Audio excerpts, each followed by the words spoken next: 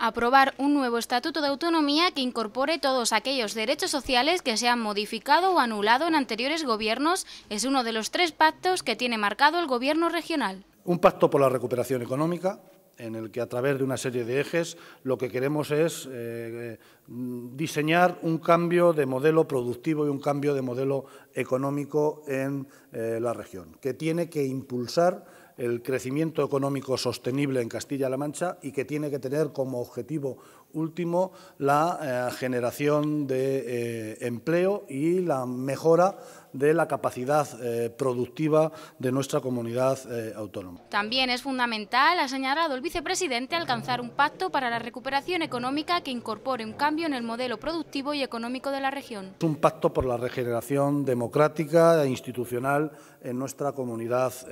autónoma. Aquí el gran objetivo es intentar la aprobación de un nuevo Estatuto de Autonomía para Castilla-La Mancha,